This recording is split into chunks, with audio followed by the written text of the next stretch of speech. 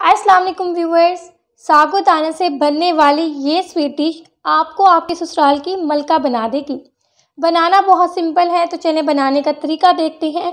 और सबसे पहले आपने दो कप पानी लेना है। पानी जब थोड़ा सा बॉयल हो जाए तो दो चम्मच सागोदाना इसमें ऐड कर देना है और आपने अच्छे तरीके से चम्मच को हिलाते जाना है।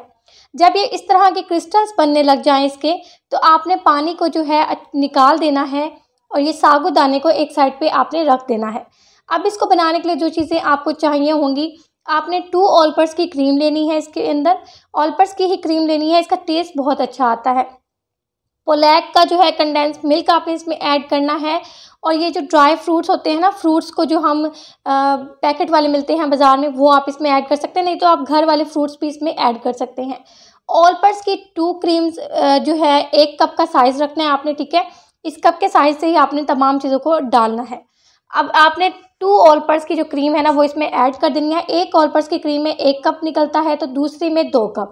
ठीक है, मैंने इसमें दो कप ऐड किए हैं। दूसरा कप मैं आपको दिखाना भूल गई हूँ। नेक्स्ट आपने कंडेंस मिल्क लेना है तो ये थोड़ा मीठा होता है तो आप अपने टेस्ट के मुताबिक लेंगे। आप जो है टू जो ऑलपर्स की क्रीम है ना उसमें आधा कप जो है ना ये कंडेंस मिल्क का ऐड कर सकते हैं। मैंने थोड़ा ऐड ज़्यादा किया है क्योंकि मुझे मीठा ज़्यादा पसंद है तो आप अपनी अकॉर्डिंग क्वांटिटी रख सकते हैं। अब मैंने इसमें ये ऐड कर दी है और उसके बाद जो है ना आपने इन दोनों को अच्छे तरीके से मिक्स करना है। मिक्सिंग बहुत अच्छी होनी चाहिए ताकि आपकी दोनों क्रीम्स एक दूसरे के साथ अच्छे से मिक्स हो जाए।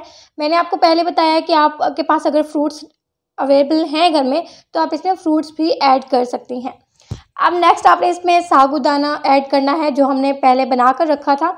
आपने ये तमाम क्वांटिटी आलमोस्ट इसके अंदर ऐड कर देनी है और इसको फिर एक दफ़ा अच्छे से मिक्स करना है। इसकी क्वांटिटी जैसे मैंने आपको बताई है, आपने वैसे ही रखनी है तो आपको ये खीर बहुत पसंद आएगी। अगर आप न्यूली ब्राइड हैं तो भी इसको बनाएँगी तो आपको बहुत अच्छे रिज़ल्ट मिलेंगे। इसका पानी निकाल लेना है आपने और जो ये फ्रूट्स हैं, इसके अंदर ऐड कर देने हैं।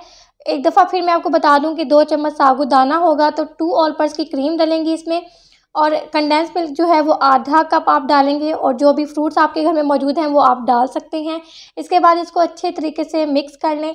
अगर आप न्यूली ब्राइड हैं, शादी होकर आप अपने ससुराल जाती हैं तो ये स्वीट डिश बनाकर उनको खिला सकती हैं। तो आपको जो हैं बहुत ज़्यादा आपकी तारीफ़ होगी। और ये इसलिए है, आप अपने पर्स में, बैग में किसी भी चीज़ में डाल कर ले जा सकती हैं।